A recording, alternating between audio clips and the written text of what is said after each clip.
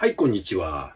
今日はですね、えー、緊急減量企画ということでね、えー、欲しい芋でどれだけ痩せれるかということをね、ちょっとまあ短期ではあるんですけど、ちょっと実証実験をしてみたいなというふうにね、思っております。まあ、最近ちょっとね、減量で、まあ少しずつ減ってきてるんですけどね、74キロぐらいからね、かなり停滞していまして、えー、1キロ減らすのに1ヶ月とかね、かかってきている状態なんですね。まあ最近ちょっとまた動き出したんですけれども、変化をつけるためにもですね、えー、ちょっとこう、普段の食材を変えてみようということで、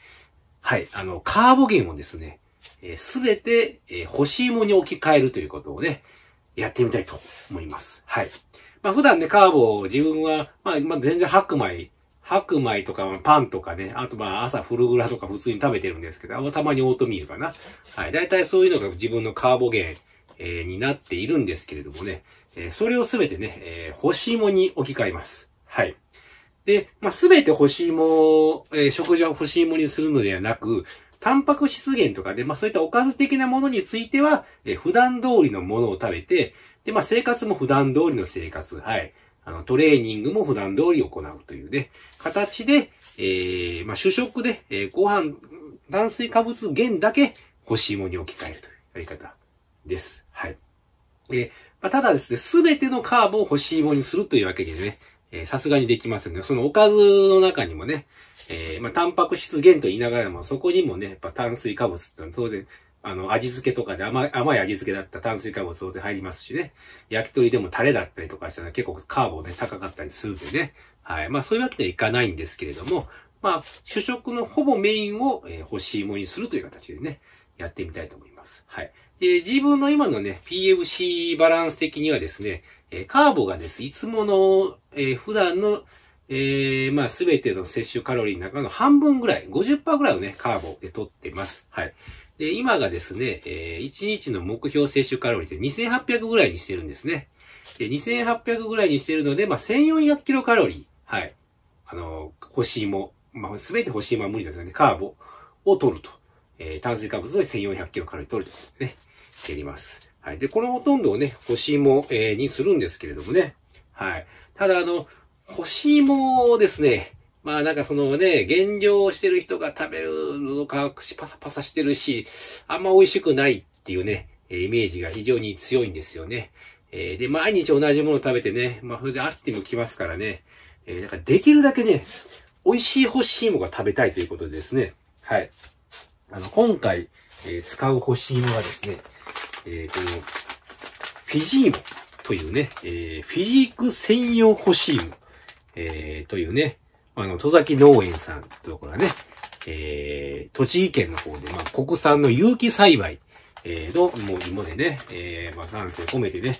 えー、作られてる、えー、ものなんですけれどもね、えー、これね、非常にうまいんですよ。あの、今まで食った干し芋の中で一番うまい、えー、なんかまあね、干し芋というかね、もうなんか芋羊羹的な感じでこう、ね、もうデザートみたいな感じなんですね。もう和菓子的、和菓子的な感じのね。で、普通にこう、トレーニングの終わった後のご褒美的な感じで自分食べててね、まあ、非常にあの、美味しく、はい、あの、食べさせてもらってるんですけれどもね。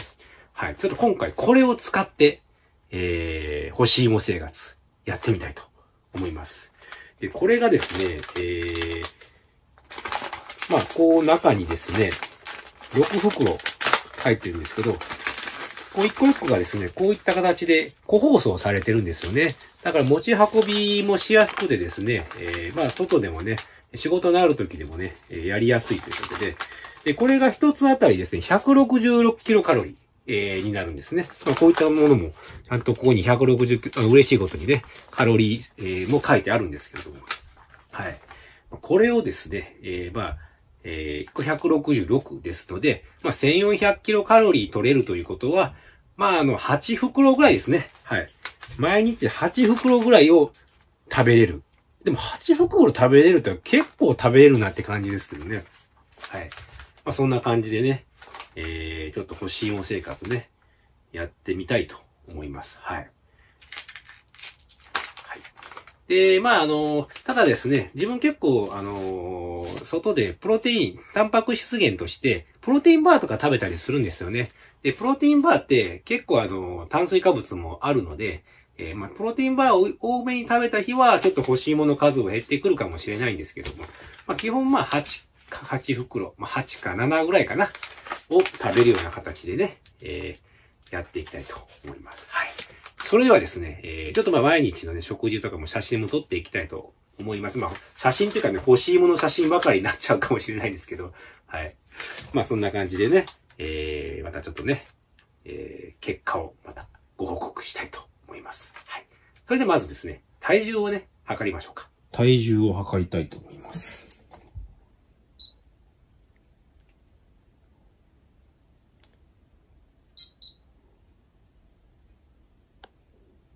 はい。えー、73.2キロでしたね。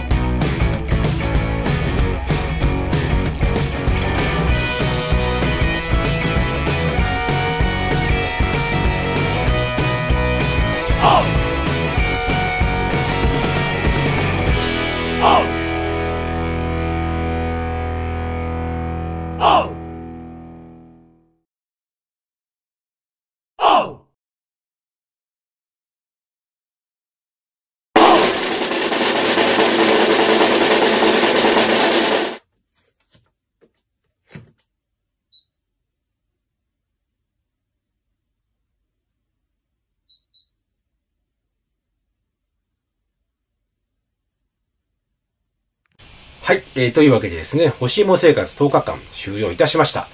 結果はですね、えー、73.2キロから72.4キロということで、えー、マイナス0.8キロ減ということでございました。はい。えー、まあ、この結果自体ですね、えー、カロリー自体は普段とほとんど変えていないので、で、そのカロリーが、えー、まあ、マイナスアンダーの300ぐらいとかでね、えー、じわりじわり月2キロぐらいのペースで、えー、落ちるような設定にしてましたので、えー、まあ、これが欲しいものに変えたことにどれだけ減量に寄与したかっていうのは、ちょっと不明、えー、です。はい。結論としては。ただですね、3点ね、この減量を進める上でね、非常に役に立つなというふうなね、効果を感じました。えー、まず一つ目がですね、えー、普段同じカロリー、えー、まあ、同じカロリーで置き換えてますので、えー、取っている時も明らかに空腹感が少ない。え、というのは GI 値が低い、え、というのがありますので、え、じわりじわりエネルギーになるんですよね。なので、こう、空腹感を感じにくい。ということは、あの、まあ、食べる量をね、実際のところ思ったのはもうちょっと減らしてもね、普段と同じぐらいの、えー、感覚、空腹感の感覚でやれそうだな。というような量を減らせばもうちょっとダイエット、あの、はかどるなというね、え、そんな感じはしました。えー、まあ普段はまあちょっと脂質の低いね、お菓子食べたりとか、カーボゲンとしてね、するので、えー、まあそういったせいかね、まあ、血糖値すぐキュンと上がるんですけど、下がるんですよね。で、すぐ空腹になってしまうっていうね、そんな状況でね、で、また食べ、食べてつまんでしまったりとかね、えー、つまみたくなってしまったりするんですけどね。まあそういったものがね、欲しいもんに変えてね、えー、な、なくなったっていうこと。まあ、ということは腹持ちが良いということは、やはりね、そこの点でかなり、あのー、減量に向いている食材というふうにね、えー、思いました。はい。で、第、えー、二つ目、えー、が、えー、カリウムがやはり豊富ということもあったので、えー、むくみがね、えー、取れやすくなったっていうのがね、ありますね。はい。あと、こう、栄養面からすると、えー、ビタミン C が豊富というのはありますので、えー、他のね、カーボン、カーボンの食材に比べて栄養価が高いなというふうにね、えー、感じました。はい。あと、ま、食物繊維が豊富なので、えー、まあ、その便秘とかね、えー、そういったお通じも非常に良くなったというね、えー、メリットがありますね。ちょっとまあ、体なんですけれども、はい。今こんな感じになってます。はい。はい。これね、朝のね、早朝、ノーパンプの状態なんですけれども、えー、むくみがね、やはりね、取れて、ちょっとシュッとした感じがしますね。はい。こんな感じでございます。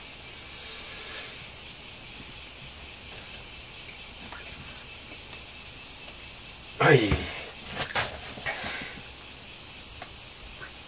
はい。こんな感じですね。はい。だから非常にこう、質感がね、良くなる。むくみとして質感と良くなったなというね、えー、感じがしますね。はい。3点目なんですけれども、トレーニング時の強度が上がったっていうのがね、ありましたね。はい。これまあ意外というかね。あの、まあというのも、やはりエネルギー源としてね、じわりじわりエネルギーになっていくので、バテにくいっていうのがありましてね。トレーニング時バテにくい。ということはトレーニングの強度が落ちない。で、さらに、やっぱりその、えエネルギーとして、えー、しっかりこう使えるので、なんていうんですかね、えー、パワーもね、増しましたね。えー、実はその、ここに、減量末期に来てですね、えー、胸のマシンとかね、えー、最高記録更新したりとかね、えー、しました。はい。あの、増量し一番体重の重い頃で上がらなかった重量がね、上がったりしたんですよね。はい。まあ、そういった点で、トレーニングの強度も増したというのが、えー、これもね、非常にね、3点目としてね、えー、良かった、効果があったなというね、えー、感じがしました。えー、で、あとパンプ感がね、良かったっていうね、トレーニング中のパンプパン、パンプパンが良かったのと、それが持続したっていうのもありますね。ということは、コンテストの調整として、えー、超テストってね、やっぱり予選決勝とか何回もステージ上がって何回もパンプさせなきゃいけないので、えー、途中で後半パンプしなくなっちゃうんですよね。そういった点で欲しいものだとやっぱエネルギーが持続するので、えー、まあそういうね、ステージ、パンプにも非常にね、役に立つ、コンディション作りに役に立つ食材だなというふうにね、え、思いました。だからまあダイエットとしてもすごく使えるし、え、コンテストの直前の調整の食材としても非常に使えるなというふうにね、えー、思いました。まああのカーボローディングとかいう話もありますけど、まあカーボローディングでね、最初はね、えー、結構、あのー GI 値の高いものを取ったりして、で、ちょ、あと2日目とか3日目になると、今度は低いものを取って、じわりじわりこうエネルギー蓄えていくってことをするんですけど、まあその辺で使えるなというふうにね、えー、思いました。はい。で、あとまあちょっと関係、ちょっと関係ないかもしれないんですけども、はい。非常にね、これ美味しかったですね。欲しいもね。これあの、特に美味しいし、小分けになって1つ166キロカロリー、えー、なので、まあ、非常にこう調整しやすいし、持ち運びしやすい、どこでも食べれるっていうね、そういうやりやすさがね、ありましたね。はい。というわけで、まあ、あの、やはり、まあ、電量自体は最終足し算引き算、え使った、使うカロリーと、えー取るカロリーの、えーアンダーカロリー以下に出していくかということだと僕は思ってるんですけれども、えーそういう他のね、腹持ちとか栄養とかね、えーそのエネルギー源とかね、コンディション作りとか、そういった面で、えー非常にこの干し芋、はい、あの、減量に役に立つなというふうにね、えー思いました。はい。えーそんな感じでございます。以上ね、えー干し芋生活やってみた、結果とですね、えーその効果について自分が感じたことということでね、お話しさせていただきました。はい。それでは、3、1参考にしていただけたらいいかなというふうにね、思います。では、